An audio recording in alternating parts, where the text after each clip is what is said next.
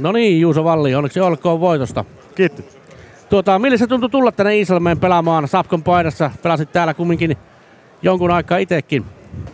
No joo, muutama peli, kolme peliä itse asiassa viime kaudella peli, pääsi pelaamaan täällä ja ihan mukava tänne tullut. Täällä on hyvä tunnelma ja pieni boksi, niin tekee tuosta pelistä, pelistä vauhdikasta ja saa paljon kamppailla, niin tänne on, tänne on kiva tulla.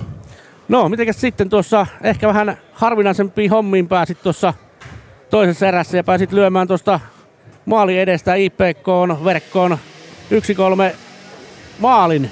Miltä se tuntuu puolustajana aina silloin tällä käydä maalikin tekemässä? No kyllä se sen verran harvinaista herkkuu on, että, että kyllä se aina maistuu, maistuu ja meillä on tuossa hyvä ylivoima ja jätkät jakaa hyvin kiekkoa, niin kyllä siinä aika huono pelaaja saisi olla, jos ei siitä joskus maali tekisi.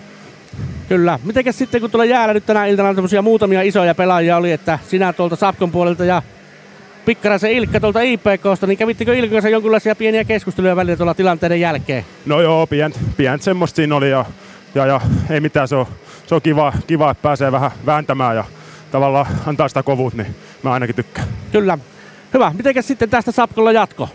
No joo, meillä on ensi viikolla taitaa taas kolmen pelin viikko, että ei mitään, nyt palautellaan huomenna ja maanantaina jatketaan taas reeniä parissa ja siitä sitten ensi viikon peleihin. Et taitaa itse asiassa olla keskiviikkon IPK uudelleen, uudelleen vastaus, että hyvä, hyvä revanssi siihen sitten saadaan. Niin.